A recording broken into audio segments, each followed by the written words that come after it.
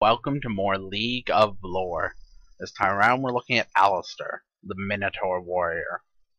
As the mightiest warrior to ever emerge from the Minotaur tribes of the Great Barrier, Alistar defended his tribe from Valoran's many dangers. That is, until the coming of the Noxian army.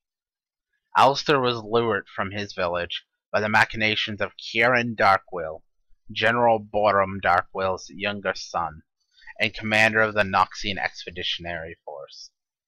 When Alistar returned, he found his village burning and his family slain.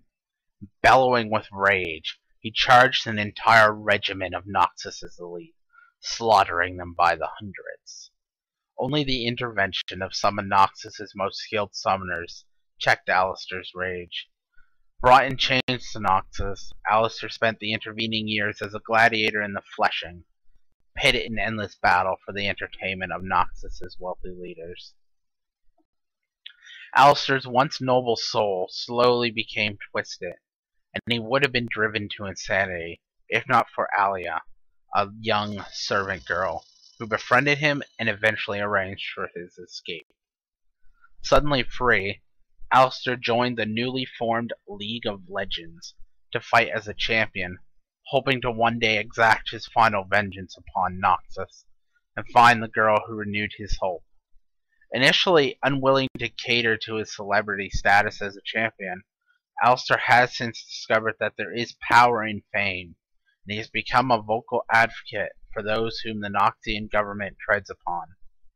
He also calls to light things that the Noxian military would prefer remain hidden, something that has made him very unpopular with Noxus's nobles.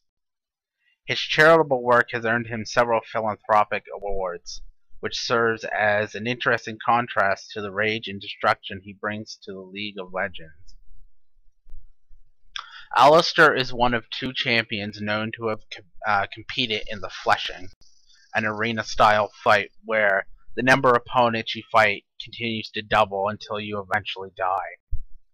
The other person who participated was Xin Zhao. And the fleshing is definitely a feat of strength in Noxus. Alistar was also one of the three champions who took it upon himself to stop Renekton when he arrived on Runeterra from getting to his brother Nasus. Um, anyways, that is the extent of uh, Alistar's backstory. He's a very proud warrior, and as Summoner once said, if you intend to grab the bull by the horns as a summoner, Alistar might have something to say about that.